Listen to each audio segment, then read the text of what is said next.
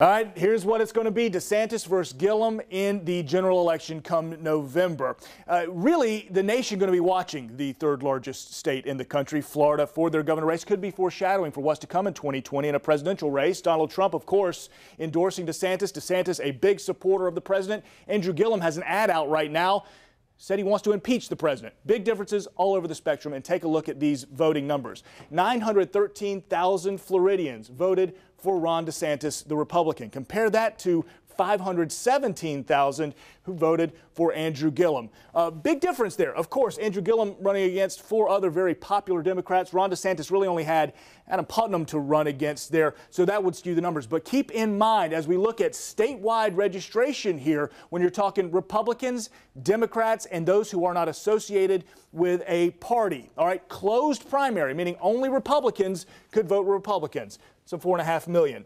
Registered Democrats only voting for registered Democrats, 4.8 million.